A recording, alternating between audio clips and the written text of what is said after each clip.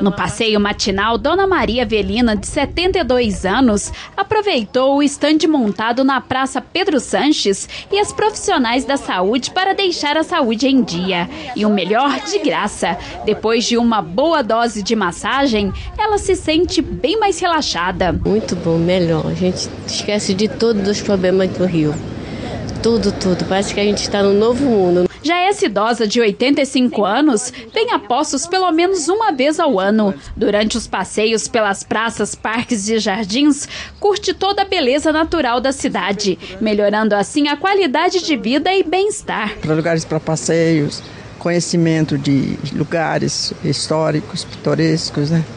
Eu gosto muito. De acordo com uma pesquisa realizada por uma revista de publicação nacional, Poços de Caldas aparece como sexta melhor cidade em condições de vida aos idosos.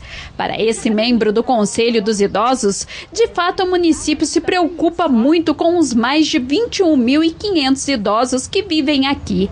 Ao longo dos anos, diversas conquistas nos setores de lazer, esporte e cultura foram alcançadas, mas sempre pode melhorar as atividades oferecidas. Tem muita coisa ainda que pode ser feita. Melhoria das calçadas, a prática de esporte, acompanhado com o educador físico. A gente sabe que tem muitas academias espalhadas pela cidade, mas falta, falta um acompanhamento mais de perto de um profissional para os idosos e mais espaço de lazer.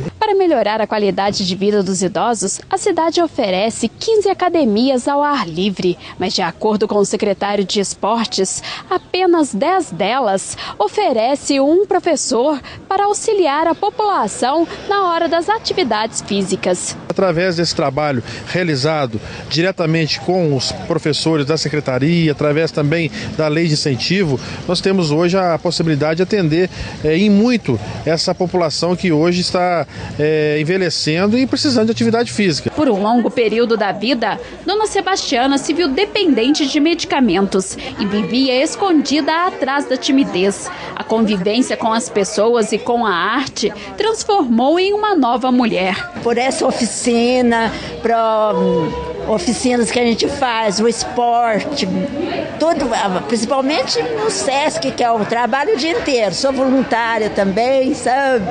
É, a gente faz roupinha de bebê, faz pijamas. Então isso tudo me ajudou demais. E os idosos que frequentam Poços de Caldas sempre que podem, aprovam todas as atividades disponíveis na cidade. Aqui eu tô adorando porque você anda tão à vontade.